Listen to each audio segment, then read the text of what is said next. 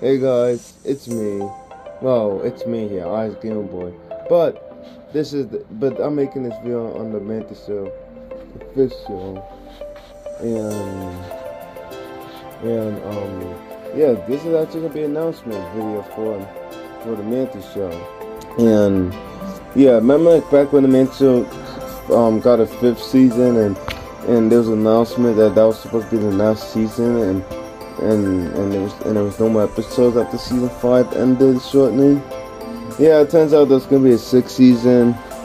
Now I can't go into that much detail about why this is the sixth season coming, but I the only thing I can say about it is that is that season six is is is, is happening because it's, it's because it's because like like I was able to come up with more ideas for for, the, for Ben and, and his friends and uh, there's more adventures for them to explore or to, to have to happen to them if that makes any sense.